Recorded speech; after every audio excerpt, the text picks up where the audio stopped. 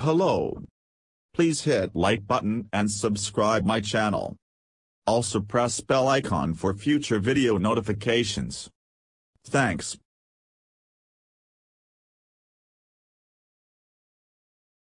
Paris, the world will cross the key 1. 5 degrees Celsius global warming limit in about a decade, the UN said Monday, warning that devastating impacts of climate change are hitting faster than expected. In the final installment of a major series of reports, delivered in a crucial decade in human history, the UN's Climate Advisory Panel urged dramatic reductions in planet heating emissions. The Intergovernmental Panel on Climate Change's key message is that while humanity has driven the planet to the precipice of climate catastrophe, there is still time to steer global temperatures to within relatively safe limits. That will require enormous global effort.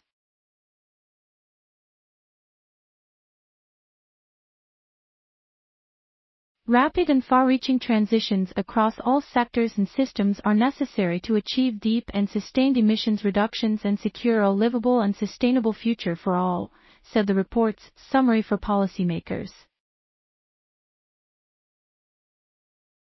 Distilling the weight of scientific knowledge on climate change, the IPCC's work will form the basis of intense political and economic negotiations in the coming years, starting with the UN COP28 climate negotiations in Dubai later this year. The 36-page summary, a synthesis of six major reports since 2018, is a brutal reminder that while humanity has the tools to prevent climate catastrophe, it is still not putting them to use. But it represents a message of hope, the head of the IPCC told AFP. We have know-how, technology, tools, financial resources, everything needed to overcome the climate problems we have known about for so long, Hoesung Lee said in a video interview. What's lacking at this point is a strong political will to resolve these issues once and for all. The IPCC said the world is currently set to reach 1. 5 C above pre-industrial levels, the more ambitious and safer target of the Paris Agreement in the early 2030s, which will ratchet up the severity.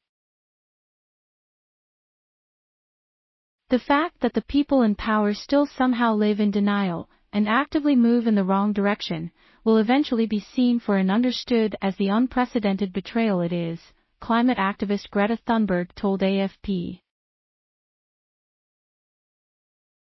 At just under 1. 2 C of warming so far, the world today has already seen a crescendo of deadly and destructive extreme weather. The most vulnerable populations have already been hit hard.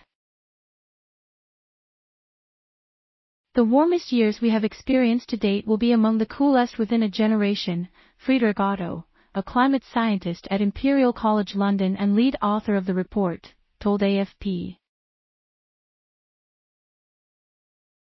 The benefits to society and the world economy of capping global warming under 2C outweigh economic costs, the IPCC said.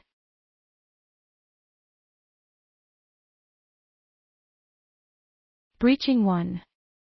5C could signal extinctions on land and in the oceans, crop failures, and an increasing possibility of reaching so-called tipping points in the climate system, including the death of biodiversity-rich coral reefs and faster melting of the polar ice sheets feeding sea level rise. In response to the report, UN Secretary-General Antonio Guterres said wealthy countries aiming for carbon neutrality in 2050 or beyond should speed up their goal to as close as possible to 2040 in order to defuse the climate time bomb. Humanity is on thin ice and that ice is melting fast, H. The report comes as the world has scrambled to shore up energy security following Russia's invasion of Ukraine, with countries in Europe and Asia turning to heavily polluting coal, even as renewables rise. One of the fastest transformations will need to be in energy, the report said, with solar and wind power already increasing dramatically. Thanks for watching. Please subscribe my channel for more videos.